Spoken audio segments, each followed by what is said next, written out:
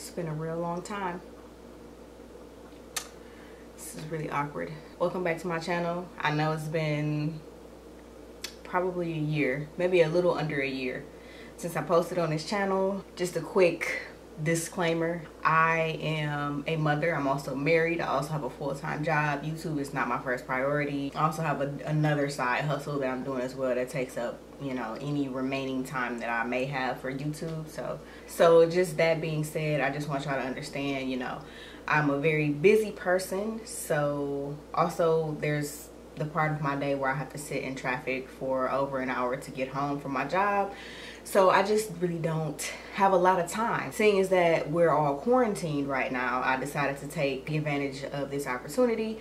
I'm gonna record a couple videos and I'm gonna post them. As you probably know, I have a entire arsenal of emails that have flooded my inbox since I've been gone and even when I was still recording I still had hundreds of emails. I'm to try to do as many as I can I'm probably going to record maybe three videos today or three emails today and then I'm to post them. I'm to edit them ASAP. I'm not to wait until Thursday. I'm to post them as soon as I get done editing them. I don't care if it's like 1 o'clock in the morning. I'm just to post them. Also, I have some um, screenshots saved of people who turned on their post notifications.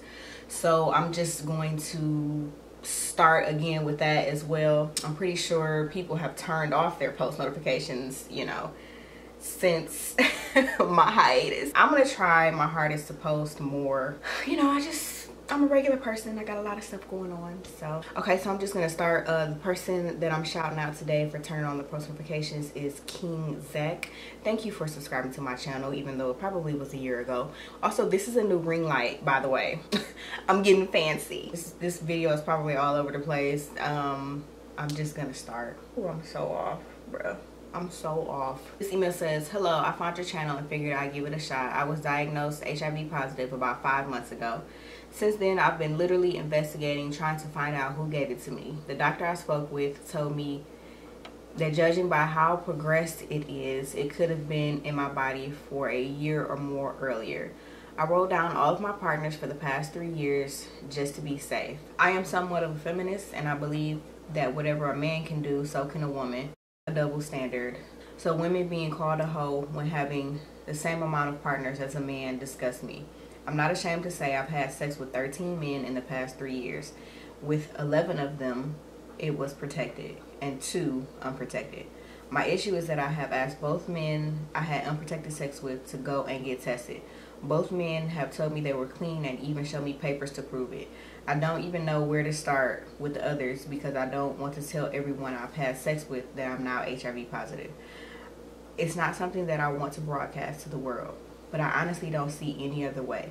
I wish there was a way I could pinpoint who it was just to discuss it with that person and see if they even know they're positive. This is just one of the hardest things I've ever had to do. I would like some friendly advice and please save all the comments about me keeping my legs closed. And if I wasn't being promiscuous, it would have never happened. There is no point in saying that because what's done is done. Me personally, I don't think that you should dwell on that. If you don't know right off, right off the top of your head who it was, then leave it up to them to be the responsible adult and get tested on their own.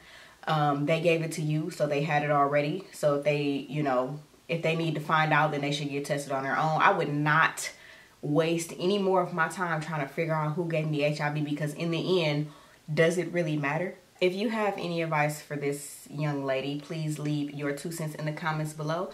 Make sure you subscribe to my channel. Like I said, I am coming back. I will see you guys in my next video, which I'm about to record right now. So stay tuned because it's going to be posted right after this one probably. Um, yeah, I'll see you guys in my next video.